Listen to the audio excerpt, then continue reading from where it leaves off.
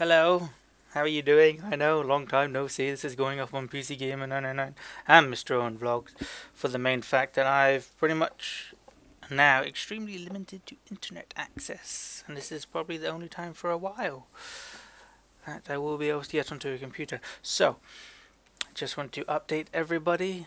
I have gone through like all the paperwork and the meetings and all that shit, and I'm actively bidding and looking at all these houses. So I've just got to play the waiting game. A game that has no beginning nor no end. So I honestly don't know how long it's going to take. Hopefully not that long. But you can never... Oh my goodness.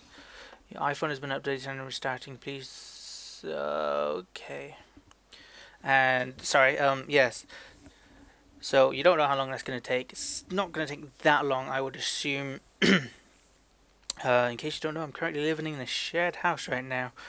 There's five of us all together, including me. We have me, this dude called Craig, who's a milk thief and stole my milk, you bastard. Yeah. Well, it wasn't. He he didn't admit it, but I kind of. Well, it was an investigation that I will touch upon later and probably in the Coopercast. And then we have Roger, who's like in his mid 50s, early, no, no, mid 40s to late 40s. And he's a sweet old soul. He's he's like he had an accident. He doesn't talk about it much, but he like walks around limping all over the place. I feel really bad for him. You know, he he had a really good job. He was a teacher. Then the accident happened, and then wow, shit happened, and then now he's in the shared house with us. And then there's the person called Crystal.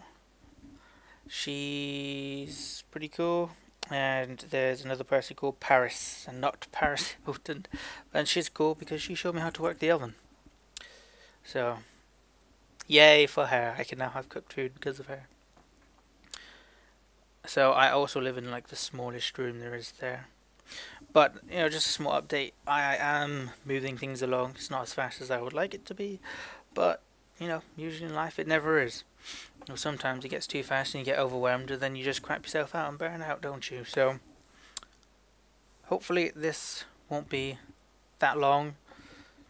I'm playing the shit out of my Xbox. I'm playing Assassin's Creed. I finally finished Assassin's Creed II.